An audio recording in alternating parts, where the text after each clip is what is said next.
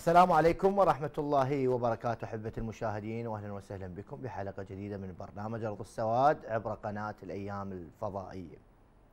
لولا الرافدين ونهري دجلة والفرات ماكو برنامج اسمه أرض السواد أو هاي التسمية التاريخية ما راح تطلق على العراق بسبب اليوم كثافة زراعته بالعصور القديمة إلى اليوم رغم الظروف السيئة اللي قاعد تعيش اليوم الزراعة العراقية كميات المياه الواردة. إلى العراق. طبعا اليوم المحافظة على نهري دجلة والفرات هو واجب وطني شرعي أخلاقي. اليوم يعني شيئين إن هم شرايين الحياة في هذا البلد. تاريخيا مياه الشرب الزراعة حتى في الصناعات النفطية يدخل المياه بهذا الموضوع. ولكن للأسف لو نقارن أنهرنا العراقية مع مثلا دول الجوار بأرقام التلوثات وغيرها لا إحنا أرقامنا تخوف في بعض الأحيان. صح ما نعتمد على تقارير ممكن الوكالات الأجنبية أو بعض يعني المو عراقية المو محلية ولا الرسمية اللي حقيقة أرقامها مرعبه ما حبيت إنه أذكر بعض هذه الأرقام لأن بيها مبالغة. يعني وشفتوا كثير من الأمور اللي تصير مثلا في عام 2019 نفوق الأسماك بسبب فيروس. المخلفات اللي ترمى من المستشفيات المطلة على النهر المصانع المطلة على النهر اللي ترمي. حتى اليوم مصافي النفط اليوم أبسط مثال في بغداد في قلب بغداد مصفى الدورة روح صيد لك أي سمكة من هذه المنطقة. البقعه تلقى السمكة بها نكهة نفط بسبب اليوم بعض التسربات اللي قاعد تصير على نهر دجلة وأيضا نهر الفرات في بعض المحافظات. شنو هاي الأسباب؟ خاصة لما نشاهد إنه جهات حكومية هي أيضا لها دور بهذه السلبية الكبيرة. اليوم نحكي على وزارات مؤسسات غيرها من هذه الأمور. طبعا راح نناقش كل هذه الأمور مع المهندس الأستاذ لؤي صادق المختار المتحدث باسم وزارة البيئة. أهلا وسهلا. شرفنا بيك. الله يخليك. السعاده والشرف. وأيضا راح ينضم لنا الأستاذ جمعة الدراجي الخبير المائي من محافظة ميسان. نرحب به إلى ما يتم الاتصال مع حضرته. أستاذ لؤي تقارير كثيرة تظهر على تلوث المياه العراقية اليوم كوزارة بيئة. هل صحيح مياهنا في بعض الأحيان بها نسب تلوث أو هناك مبالغات؟ نريد نعرف منكم هذه التفاصيل. شكرا جزيلا آه، لقناتكم الموقرة ولجمهوركم الكريم وضيفك الكريم أيضا آه، وشاكرين دعوتكم لنا لهذا الموضوع حتى نحاول نغطيه قدر الإمكان. نعم. الحقيقة طبعا إحنا العراق هو أكو تحديين في المياه. التحدي الأول هو مجابهة شحة المياه وتأثير التغيرات المناخية عليها اثنين مجابهة نوعية المياه. فإحنا لازم آه نفهم إنه الظروف تختلف. يعني لما أنت النمو السكاني زاد يعني قبل عشر سنوات قبل عشرين سنة عدد السكان ما كان نفس العدد.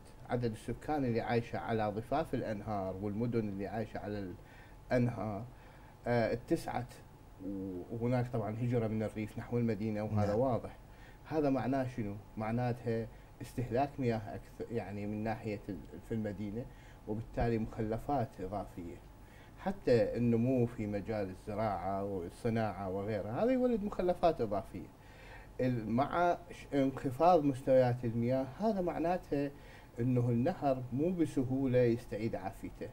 تعرف أنت من كمية مياه عالية تجرف ممكن بعض الملوثات تخففها وتوصل إلى مستويات ممكن يعالج النهر. في الماضي لما كانت المياه شوية زينة آه الأمور ما تظهر. لكن طبعا أكيد مع وجود هذا التزايد هناك تحدي حقيقي لمعالجة تلوث المياه. وهذا التحدي مو يعني الحكومة غير ملتفتة له لا بالعكس ملتفتة له بشكل جيد. وخصوصا في هذه الفترة. وإن شاء الله إحنا نستعرض لكم حجم العمل اللي تقوم به الحكومات والخطط والاستراتيجيات والمشاريع اللي من شأنها إذا نفذت راح يعني تنهض بنوعية المياه. نعم. يعني عندكم أرقام على حجم التلوثات إنه قلت بالسنوات أو زادت أو شيء من هذا أنا خل أحكي لك على أكو فد لجنة مهمة بالحقيقة. هاي اللجنة هي آه آه برئاسة معالي وزير البيئة الدكتور آه، المهندس نزار آميدي نعم آه، وعضوية كل الوزارات هذه اللجنه لمعالجة أو متابعة التصاريف السائلة إلى إلى النهر آه، آه، إلى نهري دجله والفرات يعني إلى الأنهار. وهذه هي استكمال للجنة أصلا تاسست آه، برئاسة وزير الصحة والبيئة آنذاك علاء العلوان. نعم. بتوجيه من رئيس الوزراء الأسبق دكتور عادل عبد المهدي وكان متابعه يعني حثيثة لهذا الموضوع. نعم. حقيقة هذه اللجنة رصدت جميع الإطلاقات من مختلف القطاعات وحددت إيش قد بها يعالج بشكل جيد، إيش قد ما يعالج. ووضعوا خطط ورؤى لمشاريع بحيث تعالج المشاكل الإخفاقات. اللي هي اسمها لجنة 99 سين، يعني أعتقد هي بأمر ديوان 99 سين. نعم. آه واشتغلوا ولكن صار نوع من الانقطاع والآن رجعت اللجنة بفاعلية برأ... تعرف إحنا كنا وزارة مدمجة الآن لما رجعنا وزارة مستقلة أيضا معالي وزير البيئة مهتم بهذا الجانب بشكل كبير. هو أكو اجتماعين تمت وإن شاء الله اجتماع قادم يكون هو اجتماع حاسم. فمن خلال هذا إحنا لاحظنا إنه الجزء الرئيسي يعني المصدر الرئيسي اللي هو نعتبره ثقل حقيقي هي تصاريف الصرف الصحي. عندنا آه يعني مع الأسف بالرغم من إنه العراق دولة عمرها 100 سنة لكن أكو مدن كاملة آه، لا تمتلك مشاريع متكاملة من حيث الشبكات الصرف الصحي ومعالجة الصرف الصحي. آه، آه، إلا أن هناك بدات مجموعة مشاريع نعم. ناهضة في فترة من الفترات ووصلت إلى مراحل طبعا تعرف ظروف داعش والتمويل وانخفاض أسعار النفط صحيح. صار حالة من التقشف وكثير من المشاريع توقفت. الآن هذه المشاريع اللي توقفت رجعت هي بالحقيقة أكو master plan لوزارة الأشغال البلديات هذه ال master plan تقريبا ترفع لنا نسبة خدمة الصرف الصحي بالعراق نعم من 30% إلى غاية توصل إلى 65 إلى 70% وهي 65 70% فالنسبة كلش ممتازة لو أخذت التمويل الكافي لهذه المشاريع. بعد توقف هذا اللي دام من 2014 إلى 2020 الآن رجعت هاي المشاريع يعني تشتغل. تخيل أكو واحد من المشاريع اللي مهمة كانت. وأني دائما أثير الانتباه إلى ما حصل في محافظة كربلاء. أه، أه، بالرغم من تتابع الإدارات المختلفة لكن مشاريع الصرف الصحي في المحافظة والبنى التحتية في المحافظة أه، واحدة كملت الأخرى لم يتم إيقاف المشروع لأن هذا مشروع بنى تحتية أساسي. اذا تغيرت الحكومة مو معناها وقفت هذا المشروع وراحت غير مشروع لا. ظلت المشاريع بشكل تصاعدي. تقريبا كل المحافظة آه، آه، عملوا بسنوات طويلة وانت صعب انت تعمل تحت الأرض. شبكات طبعا. هذه يجوز للجانب السياسي للجانب يعني ما تحصل الإضاءة الكافية ولكن هو هذا مشروع استراتيجي. فأنت بتسوي شبكات تفصل شبكات الأمطار عن شبكات الصرف الصحي. الكثير من المشكلة أنه الناس تصرف على الأمطار صحيح. وهذه ما تروح إلى معالجة. إضافة إلى إنشاء مشاريع آه، معالجة ثالثية يعني من ثلاث مراحل وهي مو مو موجودة يعني أصلا سابقا. وتعالج المياه إلى حد تنقية عالية وبحساب يعني لمدة 20 سنة قادمة مع التنمية والنمو اللي يصير. نعم هذا مشروع يعني كربلاء المركزي نقدر نقدر نقول كربلاء هي المحافظة الأولى بهذا من ناحية الموضوع. الصرف إي نعم أنا أعتقد وهو أيضا طبعا أحيانا الواحد أيضا هناك الحاجة دائما تكون أم الاختراع يعني أنت تعرف المياه في كربلاء هم يعتمدون على نهر الحسينية نهر. الحسينية هو مو نهر فرع من نهر. فرع فرع زين. وهذا أكيد طبعا حاجة في الحفاظ على المياه يولد هذا القرار وهذا العمل. صحيح. هذا الشيء لو نشوفه مرة يعني بشكل مثلا أنا في مدينة البصرة أنا مثلا أتمنى أشوف مثل هيك مشاريع. عندنا محطة حمدان قديمة بيها مشاريع تتحسن تنفتح آه، آه، مشاريع المراحل الثالثة يمكن أو رابعة. لكن لحد الآن ما تزال مشكلة أكو في داخل المدينة للصرف الصحي تروح الانور الفرعية. عندنا مدن كاملة مثلا نعم. أنا أعرف مثلا كركوك الموصل حتى في إقليم كردستان حتى في إقليم كردستان. لا تزال التصاريف مكشوفة. مكشوفة. أنا شايف احسن وفي, وفي مناطق راقية في الإقليم. آه بالضبط. في قلب أربيل. وهذا هو هو مو صحيح لأنه نعم. اولا هذه المياه هي ثروة. يعني الصرف الصحي تدري إيش قد نسبة المياه به 99.9 انت تسوي مشروع المجاري على تتخلص من 1% اللي هي المادة الصلبة الباقية الموجودة والبكتيريا العالقة به انت تسوي هذا المشروع على متخلص من 1% فانت دتو... دت بالحقيقة تستثمر في 99% من المياه. فانت إيش قد تعطي للمواطن مي؟ راح تسترجعه إلى النهر بدل ما يروح هدر ويروح يكون ملوث ويلوث النهر يعني تقريبا إحنا هذا الخطه هذا الموضوع. يخلصنا من 6 مليون متر مكعب باليوم من المياه الصرف الصحي غير المعالجة. إذا طبعا هي محصلة هسه يعني سنويا تقريبا مليار وشوية متر مكعب. أحسنت بالضبط. نعم. زين يعني أنا بالنهاية من هذا المشاريع إذا اكتملت كلها يعني إحنا عندنا استراتيجية الحد من التلوث غطت هذا الموضوع. وأكثر من جهة أيضا تشتغل. وأنا عندي علم إنه الآن أكو مشاريع بمختلف المحافظات. نعم. بس إحنا نتمنى الصورة الكاملة للصرف الصحي.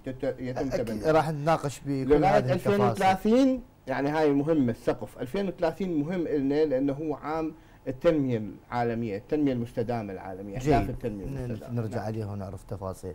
أحبة المشاهدين عندنا فيديو بكثير من المعلومات حول هذا الموضوع. خلينا نشاهد هذا الفيديو وراجعين.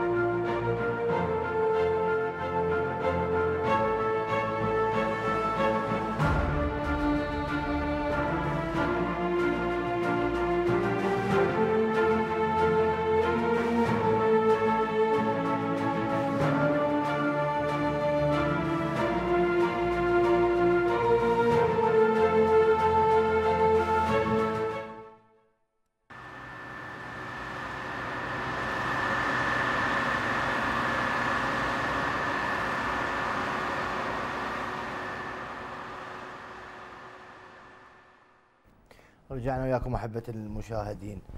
قبل ما أتكلم وياك بالسؤال الأمم المتحدة تقول نصف سكان العراق ما يوصلهم مياه صالحة للشرب. أريد أسأل اعترضت على هذا الشيء قلت ممكن بي لا هذا مو معلومة دقيقة. آه الآن يا منزل بالعراق يستخدم مياه الاساله للشرب؟ مستحيل. أي مو أنت من تقول عدم وصول هو بس هذا سؤال آه، شوية ما يسموه سؤال مصيدة. إحنا بنجي الامم المتحده قالت اولا طبعا أنا يهمني دائما من أشوف هيك آه، إعلانات. أدور على المصدر أحاول ألقاه. نعم. وأشوف شنو بالضبط مكتوب به أحيانا الإعلام يبرز الموضوع بصورة مختلفة. توفير مياه الشرب يعني هل هو الدولة؟ يعني بشكل خاص. يعني مو شرط الدولة ممكن حتى قطاع خاص يشتغل بهذا ممكن كثير من الدول. فهل مقصود بعدم وجود المياه الشرب؟ يعني هو مجاني لازم مجانية مياه الشرب أو لازم أنه الدولة توفرها للباب. أنا أعرف أنه إحنا النهر مالتنا تركيبته تغيرت والمشاريع الطبيعية التلقائية يعني اللي كنا إحنا نشتغل بها اللي هي ما تزال موجودة. عندنا مشاريع كثيرة يعني في مشاريع ومحطات. تقوم بها الأشغال البلديات هذا مو في محل الدفاع عنها. نعم. ولكن أنا أعرف إنه واصله المشاريع في قرى وأنا طلعت سويت رقابة على هذه المشاريع في أقصى القرى في بعض المحافظات. آه، مشاريع ومحطات موجودة. المي هو مي النهر ما بها هي مو محطات RO. يعني مو تفصل وتنقي بشكل عالي. نوعية المياه تغيرت نتيجة الزمن. نتيجة قلة الكميات ونتيجة زيادة ليش المواطن ما يثق يشرب من الاساله؟ آه، آه، لأنه آه، تقنية التنقية مالتها هي الطريقة القديمة والطريقة الجديدة مكلفة. الآن صعب إنه أنت الدولة تتبنى كل هاي يعني تقنية التنافذ أو يسموه التناضح العكسي في كل مشاريع العراق. هذه صعب ولكن من الناحيه البكتيريولوجية من الناحيه الجرثوميه هي يعني عادة آه، كلها خاضعة للفحص والرقابة ويستخدمون بها الكلور وتعقم المياه. بس من ناحية النقاوة يعني من ناحية تركيز الأملاح خلينا نقول. نعم. يجوز تركيز الأملاح عالي خصوصا كل ما تتجه جنوبا. أنا يمكن يعني في مناطق في شمال آه، في مناطق الشمال يجوز يشربون من النهر أصلا. لكن كل ما انت تتجه جنوبا كمية الأملاح تزيد. تقل جودة المياه. فاي بالضبط. عملية المعالجة التق- التقليدية اللي كانت سابقا تشتغل ما تشتغل ويا الأملاح. هي فقط تصفي الشوائب والتربة وتعقم المياه. يعني توخر الأطيان والدقائق العالقة آه، بفلاتر معينة ورمل وكذا وبعدين تحط شب وت- وترسب الأطيان ثم تضيف الكلور للتعقيم. فهو بهالطريقه جاهز يعني هو ما يضر ولكن استزاغة الإنسان إلى لأنه بأملاح عالية ما راح يكون جيد. نعم. آه، طبعا أحبة المشاهدين ع- عبر السكايب من محافظة ميسان الأستاذ جمعة الدراجي الخبير المائي. أهلا وسهلا بك أستاذ جمعة. أهلا وسهلا. أستاذ جمعة تسمعني بشيء واضح؟ بشكل واضح عفوا. جيد. شباب الصوت علوت أستاذ جمعة صوته ناصي. نعم. أستاذ جمعه أريد أبدأ وياك بموضوع مهم وأنت من محافظة ميسان قبل عدة أيام حدثت في منطقة الخير بالتحديد نفوق كميات كبيرة من الأسماك كخبراء بمجال المياه هل لاحظت هناك ملوثات بالنهر؟ بسم الله الرحمن الرحيم تحية لك ولمشاهديك الكرام أهلاً وسهلاً بك. الكريم الدكتور لؤي المختار حياكم الله بسم الله الرحمن نعم آه، كان هناك قبل أكثر من عشرة أيام آه، كان هناك كارثة بيئية كبيرة حدثت آه، في جنوب العراق في تحديدا في قناة العمشان. وهذه حقيقة تكررت للمرة الثالثة على التوالي. نعم. كانت المرة الأولى غير مسلط عليها الاضواء ولكن هناك عدد من المسؤولين في الحكومة برروا هذا الموضوع.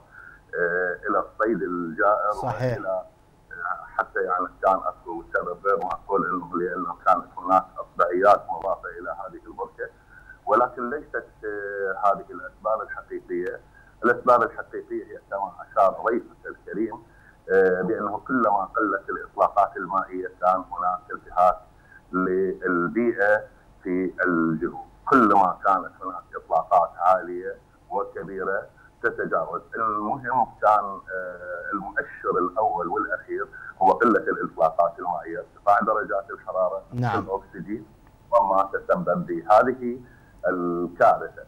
الحقيقة إن النظم الأيكيولوجية تتأثر دائما بقلة الإطلاقات المائية وبالملوثات واساسا إن المياه القادمة إلى جنوب العراق باعتبار إن جنوب العراق مناطق بناير تاتيها المياه التي فيها تغيير كبير من الناحية الفيزيائية والكيميائية أي بتغيير نوعيتها. دائما ال- الأعالي الأنهار تكون مياهها صالحة لكن لما تمر بالمدن الكبيرة وكبريات مؤسسات الدولة مثل وزارة الصحة، وزارة البيئة، وزارة الزراعة وبعض المؤسسات الحكومية خاصة وزارة النفط هذه ما زالت تطرح نفاياتها في الأنهار الرئيسية في العراق. أستاذ جمعه أستاذ جمعة اليوم نتحدث نتحدث عن. مناطق أو محافظات جنوب العراق هي المحافظات النفطية وهاي الإيرادات الكبيرة جدا يعني هل من المعقول انه مثلا مصافي النفط المستشفيات وغيرها ما وصلت وإحنا في سنة 2024 وميزانيات كبيرة ما وصلوا لمرحلة اليوم لتصفية اليوم الفضلات اللي قاعد تخرج من عندهم أنا سمعت ضيفك الكريم يقول آه، هذه المياه العذبه تحتاج إلى آه، تنقية، تنقية مكلفه، نعم يا أخي مكلفه، لكن العلاج مكلف. يا أخي آه، في في الدول الأوروبية لم يكن هناك أمراض لأنهم مهتمين بالبيئة، مهتمين بنقاوة المياه، مهتمين بنقاوة الهواء، ولذلك كل الأمراض. أخذ لي بس فقط العلاجات اللي تسبب ال- الدزنتري والاسهال خذها واصرفها على المياه العذبة واقطعها اقطعها مثل المواطن العراقي هذه أحسن مما أنه يروح يدفع باجيته الدواء الغالية السعر. الآن الوضع البيئي في جنوب العراق آه، في تدهور مستمر سنة. بعد سنة. المواطنه العراقيه تطلع إلى أن الحكومة تأخذ آه، دورها الحقيقي. آه، تقولون أن هناك في القرى جنوب العراق هناك قرى آه، لديها اسالات ماء. لا يا أخي أنا اعطيك مصدر أنا عندي مضخه زراعيه نعم. وعندي قرية زراعيه عليها قرية بعيدة عن المناطق عن الاسالات الماء أكثر من 20 30 كيلو، مصدرهم لشرب الماء الرئيسي هو النهر اللي طالع من هذه المضخة ويمشي مسافة 20 كيلو، فتصور كمية التغيير الفيزيائي لهذه الكمية من الماء المحدودة بالإضافة إلى أن هذه المضخة تخضع إلى المراشله التي النظام المراشله الذي تؤديها وزارة الموارد المائية.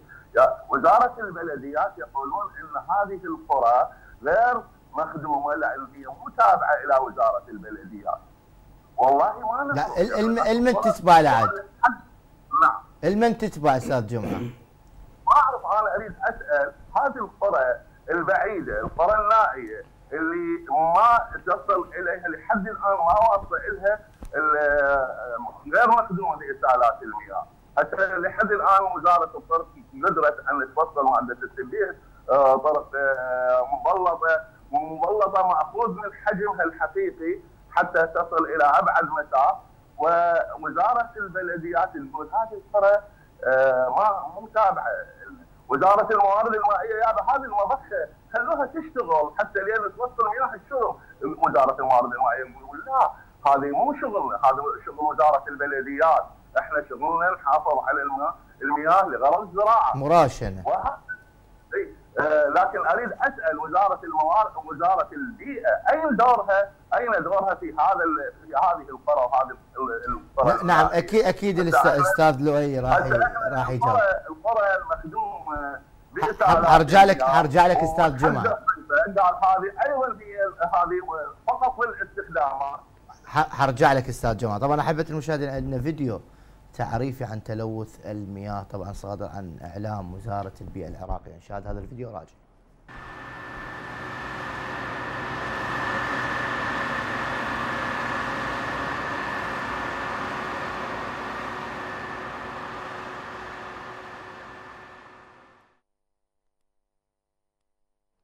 تلوث المياه يتمثل بدخول مواد ضارة بشكل مباشر أو غير مباشر إلى الأنهار والبحار والمحيطات والبحيرات والجداول ومخازن المياه الجوفية كالآبار أو طبقات المياه الجوفية مما يغير من خصائصها الكيميائية أو البيولوجية أو الفيزيائية. وينتج تلوث المياه عن إلقاء نفايات المصانع التي تحتوي على ملوثات كالكبريت والأسبست والنترات والرصاص والزئبق وغيرها من المواد الكيميائية الضارة ووصول مياه الصرف الصحية التي تحمل البكتيريا الضارة. واختلاط المواد الكيميائية الناتجة عن عمليات التعدين بالمياه وإلقاء النفايات كالورق والألمنيوم والمطاط والزجاج والبلاستيك أو الطعام في المسطحات المائية بالإضافة إلى تسرب النفط من الناقلات البحرية ووصول الأمطار الحمضية الناتجة عن حرق الوقود الأحفوري. واختلاط المواد الكيميائية التي تنبعث من الأسمدة ومبيدات الآفات مع مياه الأمطار وتدفقها وتسرب مياه الصرف الصحي من الأنابيب واختلاطها بالمياه الجوفية وتراكم الكائنات الحية البحرية التي تموت نتيجة الاحتباس الحراري وارتفاع درجات الحرارة واختلاط مياه الأمطار أو المياه الجوفية مع المواد المتسربة من مدافن القمامة إلى المسطحات المائية.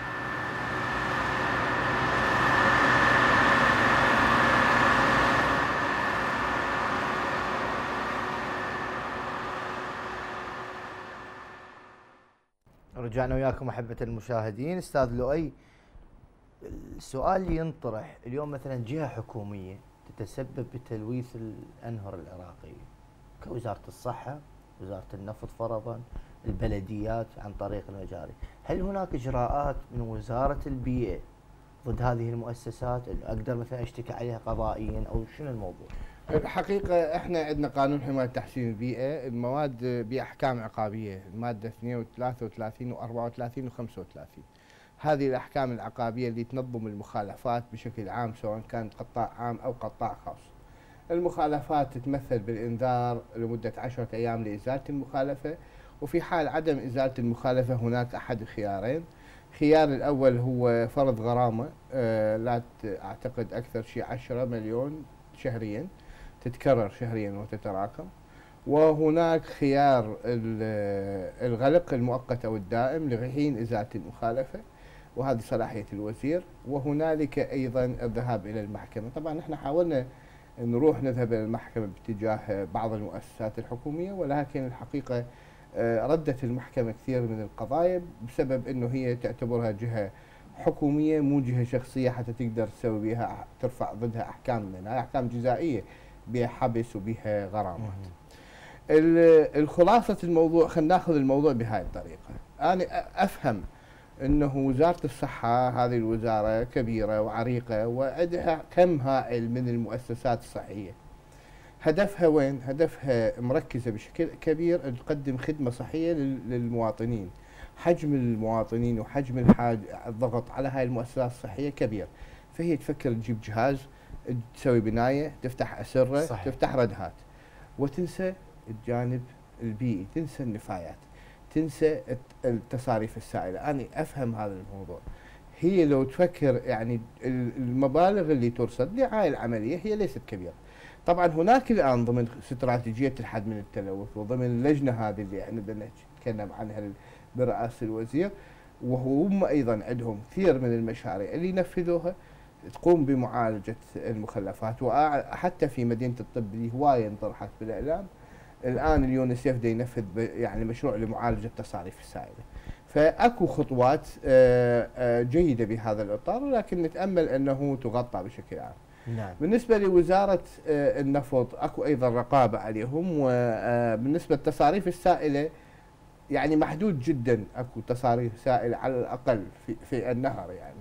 ربما أكو جفر نفطية نعم. خصوصا. بالإنتاج النفطي بالحقول النفطية ما يقدرون يجيبون فاصلات تسع هذا الكمية الهائلة من المياه المصاحبة اللي تطلع ويا النفط فيفصلوها مباشرة ويخلوها في جفر بس إحنا نشترط هاي الجفر أن تكون مبطنة بطبقة سميكة من البولي اثيلين هاي عالي الكثافة اللي يمنع أي نضوح لهذه السوائل إلى الأرض وبعدين يتعاقدون ويا جهات لأخذها وفصلها ومعالجتها. أيضا نذهب إلى القطاع الخاص هذا القطاع الحكومي. يعني فرضا أحد القوانين اللي بها تناقض إنه مثلا أنتم تفرضون على أصحاب بحيرات الأسماك عدم إعادة المياه مياه البحيرة إلى الأنهر. في في نفس الحال إنه وزارة الموارد المائية تجبر مربي الثروة السمكية بأن المياه يجب أن تعود إلى الانهر. لا أنا آه، خل يعني أوضح لكم. اكو لجنه هي كانت برئاسة الموارد المائية؟ وهي عدت التعليمات الخاصة ببحيرات الأسماك والأقفاص العائمة. يعني أكو ضوابط مشتركة آه، وزارة البيئة كانت عضو بهذه اللجان وعدت ضوابط وتعليمات آه، متفق عليها. فماكو تقاطع بين دورنا ودور الموارد المائية في هذا المجال. ولكن إحنا أحيانا يعني المصلحة يعني إحنا لازم نفهم انه المصلحة هي مصلحة للكل. لازم ننظر لها بعدالة. الموارد الطبيعية يجب أنه تدار بشكل رشيد كل الموارد الطبيعية والمياه أهمها. أن تدار بشكل رشيد وعادل أن الجميع يتحمل المسؤولية. اللي آه، آه، اللي عنده يعني اللي يفكر بمشروع مال أسماك يفكر بالزملاء الآخرين يفكر بالناس اللي عايشة على النهر اللي عنده مثلا هو في بداية النهر في اعالي النهر في المناطق اللي النهر ينقي في الصدور في المنابع يفكر بالمواطنين في الجنوب يعني بالنهاية لما كنا نتعاون ونشارك هذه المسؤولية نحافظ على النهر بشكل أكبر. نعم. أنتقل الآن للاستاذ جمعة الدراجي ك نتابعكم أستاذ جمعة أنتم كخبراء بموضوعات المياه عندكم ندوات تصير في العاصمة بغداد في بعض المحافظات. اليوم أين دوركم أنتم كأصحاب يعني اليوم الرأي بهذا الموضوع؟ هل التقيتوا مع المسؤولين لحل مثل هذه الإشكاليات؟ أه نعم أكيد. خلال لقائنا المباشر مع المسؤولين ومن خلال مؤسساتنا المجتمع المدني آه، ونطرح دائما يعني دائما نبحث عن الحلول ونقترح الحلول. ونتمنى أن يؤخذ بها. مثلا آه، هناك مقترح يجب فصل المياه العذبة مياه الشرب عن مياه الاستخدامات المنزلية. يعني هذا جدا مهم ونتمنى يعني وزارة البيئة أيضا تتابع هذا الموضوع. مياه الشرب يكون بجودة عالية وخالي من حتى الأحياء المجهريه أو المواد الكيميائية وغيرها. نعم. وأيضا يكون متابعة للمياه ان تصل إلى المناطق مناطقها الأصلية اللي المناطق اللي محتاجة المياه آه، فعلا بحيث آه، يكون متابعة وحماية المياه العذبة، حماية المصادر، حماية النهر، حماية البحيرة، حماية الخزانات المياه خاصة في شمال العراق سد الموصل والسردار وغيره. هذه يجب أن يكون متابعة ومعالجتها أو متابعة من وصلت فيها درجة التغير نوعيه المياه. وهذا نقترح أيضا في المناطق أنا كما أشرت قبل قليل أيضا المناطق البعيدة اللي ما آه، يعني عندهم حصول على المياه أيضا آه، مكاتب حقوق الإنسان آه، باعتبار حق الحصول على المياه حق من الحقوق. الإنسان أيضا هناك ناس ما واصلها الماء. أكو ناس يعني تعتمد على مياه الزراعة وينقل بالحوضيات أو ينقل بالعبوات البلاستيكية أو المعدنية. وأيضا هذه أيضا لها متابعة. هل يعني هل هي صالحة فعلا للنقل؟ لا لا توجد هناك أنابيب آه تصل إلى هذه المناطق. والدولة يعني عندها إمكانية بإمكانها أن تصل إلى هذه المناطق. يعني فعلا. حتى اي أي موقع أي موقع للاساله وللضغط آه يجب أن يكون هناك يعني آه مثلا إضافة فلتر، إضافة مواد كيميائية، إضافة غيرها لمعالجاتها ووضعها بصورة نعم نعم نعم أستاذ جمعة أكيد مكملين ويا حضرتك. طبعا سابقا كان المواطن العراقي ينتظر الراديو أو القناة التلفزيونية واحدة أو اثنين ذاك الوقت ولكن ما شاء الله أصبح كل مواطن هو صار مؤسسه اعلاميه عنده التليفون وعنده الإنترنت فهذا الفيديو القادم مواطن من قلب العاصمة بغداد يوثق عمليات التلوث والإصدارات اللي قاعد تخرج من للأسف من مؤسسات حكومية مباشرة إلى النهر خلينا نشاهد هذا الفيديو وراجعين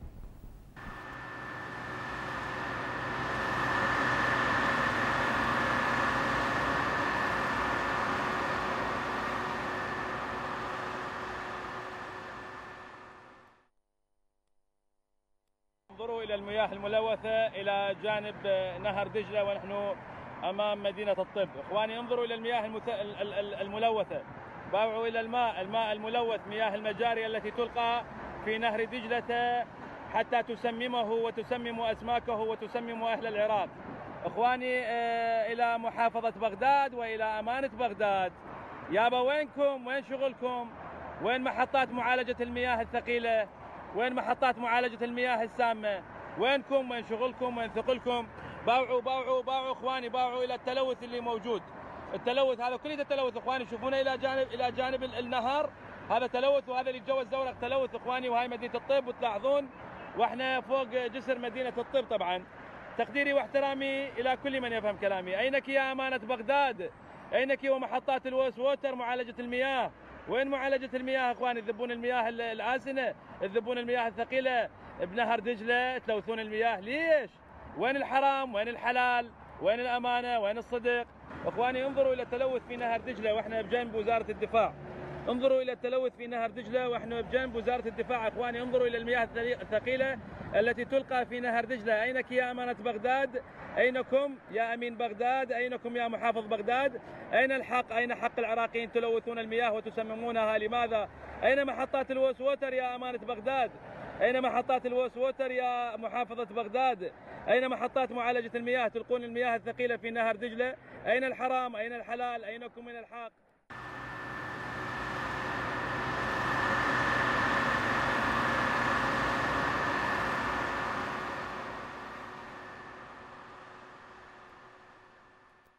رجعنا وياكم أحبة المشاهدين. أستاذ لوي سؤال آه هذا في وسط العاصمة هذا الفيديو. مدن عالمية يعني مثلا لندن مثلا باريس ولو صار بها يعني هسه هو صار فيه مليار و300 على الأولمبياد. يورو على لا تنظيف- لا على. تنظيف النهر وبعده وهو الان اللاعبين دا يعانون دا يعانون يعني والمجتمع إحنا- الفرنسي سوى حركة معينة إي يعني هسه سوى حركة أو. هم دا يعانون يعني من. التلوث ما المدن المتطورة. كيف تصرف مياه الصحية؟ مو أنا قلت لك هذا ال- الكلام. إحنا الآن آه، يعني ما ننطي عذر أو مبرر لأي حالات. لكن آه، آه، يعني المفروض إنه التلوث نحد منه ضمن استراتيجية الحد من التلوث. إحنا حتى يكون عندكم اطلاع. وزارة البيئة منذ تأسست ومنذ حتى من الثمانينات هي كانت عندها خطة مسح المصادر المائية. وتجددت في عام 2006 ولا تزال موجودة. إحنا عندنا تقريبا 75 آه، محطة. نعم. هاي المحطة هي نقطة لسحب المياه. شهريا طبعا وزارة البيئة الدائرة الفنية قسم مراقبة نوعية المياه ومديريات البيئة في كل المحافظات كلها مشتركة بهذا البرنامج. شهريا أكو مرة أو مرتين في كل نقطة من هذه النقاط. مثلا على نهر دجلة كذا و40 نقطة على الفرات 22 نقطة على كل الأنهر حتى الأنهر الفرعية الغراف شط العرب. أكو خمس نقاط هذه النقاط محطوطة بشكل مدروس وهناك آه، عينتين بالشهر تؤخذ تفحص ال TDS والعناصر الثقيلة وال DO والبي اتش وهذا المشروع مستمر. الآن الدائرة المعنية أيضا سوت مشروع من ضمن البرنامج الحكومي قيمته تقريبا مليار دينار على مدى سنتين لجلب أجهزة محمولة لفحص العناصر الثقيلة لنفس هذه المحطات عندكم جولات يعني جولات طبعا؟ طبعا الفرق تطلع شهريا آه، وكل المحافظات تشترك بها إحنا بدنا نجيب أجهزة من جديده أكثر محافظة متأثرة بالتلوث المائي؟ والله أنا هسه ما يحضرني الأرقام؟ ولكن أنا بالنسبة لي طبعا أنت كل ما تتجه بالجنوب أنت تعرف نهر دجلة يعني حتى أعطيك فد نخ إضاءة. نهر دجلة يدخل إلى العراق بتركيز تي دي اس تي دي اس هو يسموه الدقائق total الذائبة total dissolved solid المواد الصلبة الذائبة. هو معيار لمدى نقاوة المياه. فيدخل النهر إلى إلى ال- إلى العراق بتركيز بحدود 200 جزء من المليون. صالح للشرب أتوقع جداً جدا, نقي. يوصل إلى بغداد إلى حد حدود ال- ال ال 500 و 600 تضاعف أكثر من ضعف. يوصل إلى منطقة ال 1800 في أو 1700 يعني حتى تعرف تختلف صيف وشتاء وهذا. في في منطقة الغراف أو في يعني في تقاطع في الجنوب قبل ما يوصل شط العرب. إيش قد يوصل؟ تشوف 1800 1800 يعني كم مرة يزيد. يعني أنت تتخيل هذا أما نتيجة تبخر يا أما نتيجة إحنا نضيف لأحمال على أكثر شنو آه، أملاح أملاح أكثر إحنا نضيف له لو هو, هو أحيانا. البذل مياه البذل إيه. تعرف تغسل التربة والتربة بها ملح إضافة إلى بها لازم يبعد عن المبيدات. 100% أكيد نعم فالمياه البذل طبعا على الفرات كل هذا تروح على المصب العام لكن المصب العام لكن في دجلة خصوصا في اعالي دجلة كل هذا ترجع إلى ال- إلى نهر. دجله. الرزازة لها دور في زيادة تملح ال- صح مو الرزازة العفو الثرثار. الثرثار. في نعم. زيادة تملح ال- النهر. وهكذا. حتى آه، الفرات. الفرات يدخل 400 ويصعد بالمرور بالزمن إلى يعني بهذا. فإحنا طبعا آه، ال- الحصص المائية حصص الأرواء لازم مشاريع التبطين. إحنا حالة الآن التكيف مع التغير المناخي. التغير المناخي واقع. عالمي. لن يعني حتى كل إجراءات العالم بخفض الانبعاثات لن تغير هذا الواقع بعد خمسين سنة. نعم. راح تجينا أشد. نعم خلينا ننتقل إلى ال- الأستاذ جمعة الدراج أستاذ جمعة أنت من آه، منطقة معروفة باليوم بالزراعة ومنطقة زراعية. هل لاحظتم هناك حالات تسمم حالات مرضية لبعض المواطنين في المنطقة اللي أنت ساكن بها بسبب المياه؟ آه، نعم هذا ما حدث آه، في مدينة الميمونة قبل عام لما كانت آه، بلدية آه، محافظة ميسان مركز المدينة آه، تطرح المياه الآسنة في نهر البتيرة أو نهر العريض الذاهب إلى مدينة الميمونة. وهذه أشرتها المؤسسات الصحية في محافظة ميسان وهناك أرقام كبيرة كانت. تسببت في الامراض الجلدية والسرطانية وغيرها وحتى يعني احد الأشخاص اعد يعني بحث بسيط استطاع أن يحصي الحالات المرضية قبل ما تطرح بلديه العماره هذه النفايات وبعدها. وكان يعني المتلقي لاحظ الفرق كان كبير. الآن محافظة ميسان استطاعت أن تؤمن آه، هذه ال- الكمية وتطرحها آه، خارج ال- النهر بإنشاء آه، خط ناقل إلى هور الجيم.